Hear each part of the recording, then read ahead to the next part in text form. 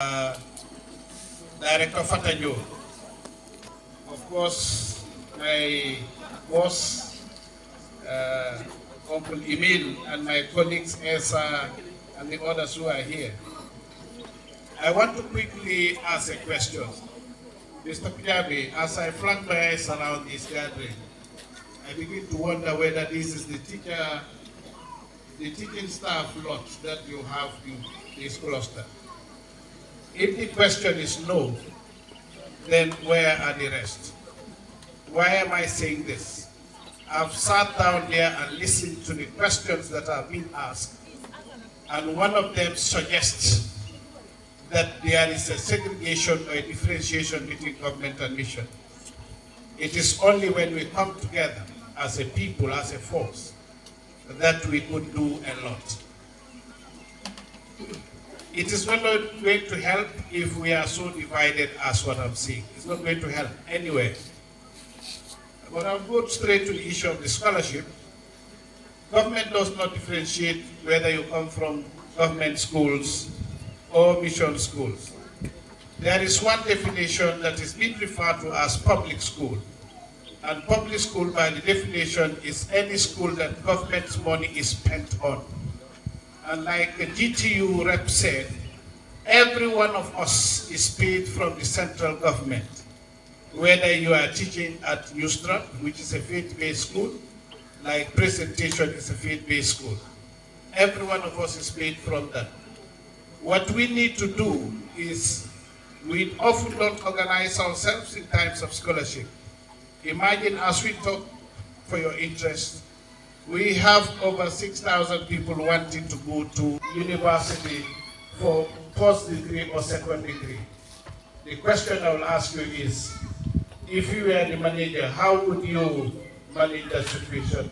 Leaving 6,000 of the teaching fraternity staff to go to the college university, who is going to be in the classroom, for which is the core mandate for existence. So what I'm trying to say is everything must be coordinated. Unless we have a coordinated approach, it will be difficult to address the scholarship issues.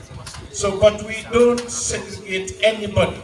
As long as you have the requirements and you have the admission, we meet you or give you scholarship based on that.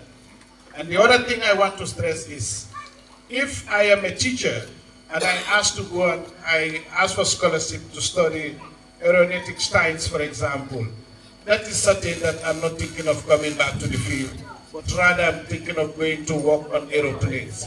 Would I prioritize that over somebody teaching mathematics in the classroom? The answer is no.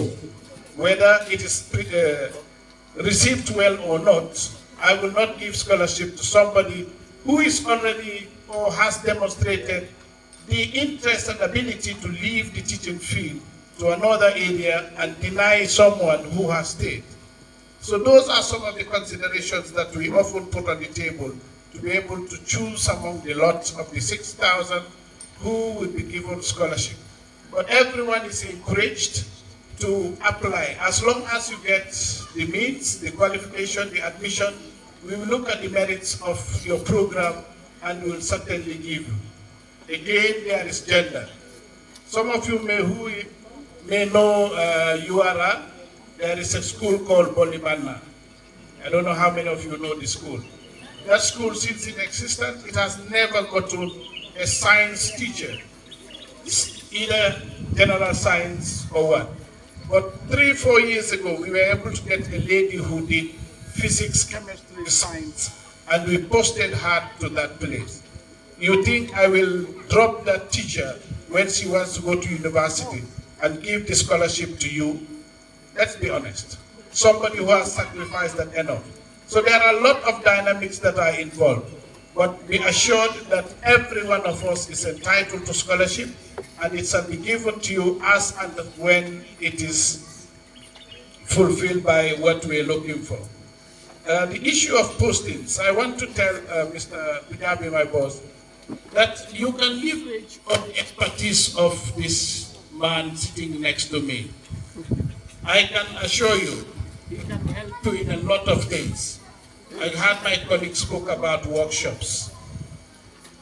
he does a lot of work even for the ministry, even though he's a ministry staff. Those are his skills, and you can make use of them.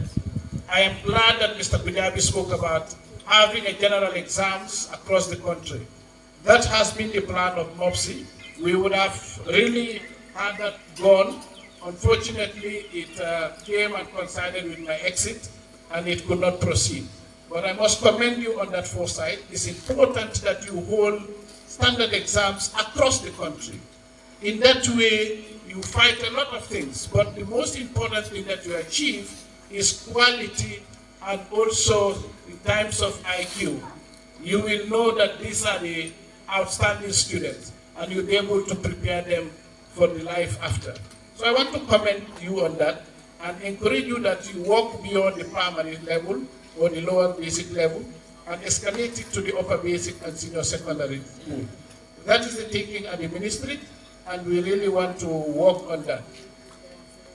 Structures, I know I have always had that challenge. Uh, a lot of people came to me.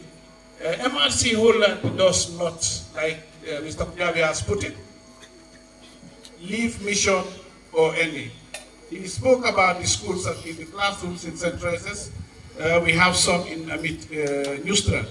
But what we're doing is we are looking at regional differences. If you look at our natural enrollment across the country, you look at also our comparative advantages across the country in terms of regions. There are some regions that are disadvantaged than other regions.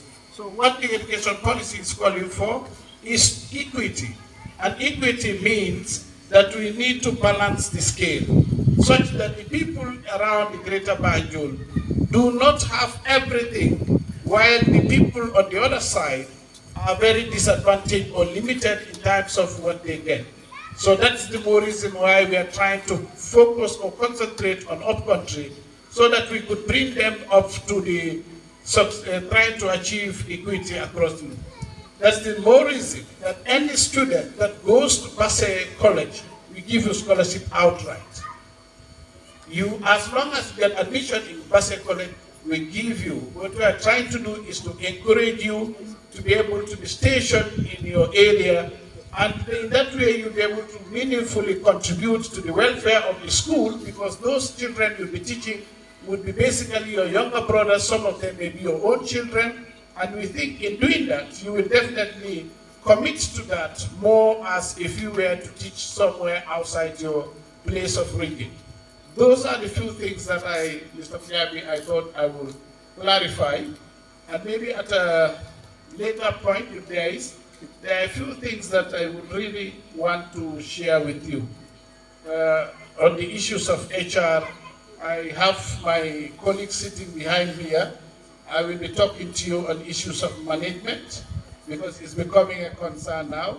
We don't want to go into fighting. Let's talk first so that if we have an understanding amongst ourselves, we'll be able to solve and help each other in our daily pro uh, programs as we, as we go. So on thank you very much for now. Until later.